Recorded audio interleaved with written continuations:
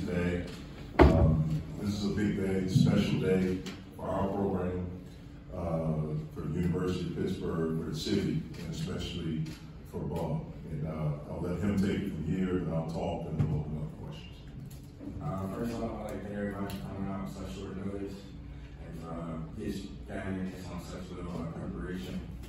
I'd like to start by saying special thanks, special shout out to Coach Brown and Coach Big for believing in me when nobody else really did. They've been on me since the 10th grade, always kind of instilling confidence in me and just telling me what I can be and just helping towards my overall development as a basketball player on and off the court. Like to thank the rest of the coaches, Coach Gill, Coach Kyle, who came here, Coach GC, Coach Tito. Thank you for making this year memorable. And like I said, just helping me become the best basketball player I can be. I'd like to thank um, Heather AD, always being that smile, always being supportive, always uh, just being that kind of ray of sunshine, bringing a lot of energy, positivity to this program.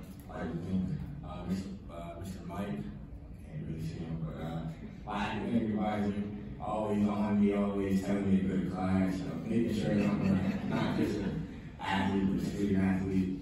I like to thank Zach, DA, Coach Vince, always um, making sure my body's right, keeping me 100%.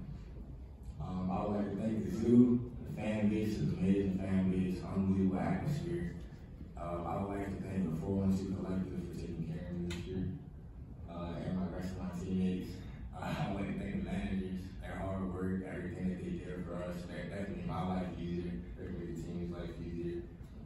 And uh, lastly, I'd like to thank my family, also supporters, my number one fans. I feel like they always are here for me. They make every single game, at least one person in my family did.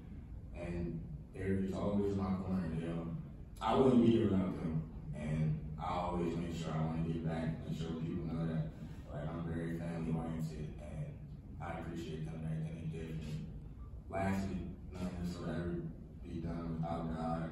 I'd like to give all glory to God. Thank you for continuing to bless me, my family, and this program. And uh, with that being said, I'd like to announce my decision for next year. As next year, I will be concluding my career here and declaring for the 2024 NBA draft. I would like to open up for So,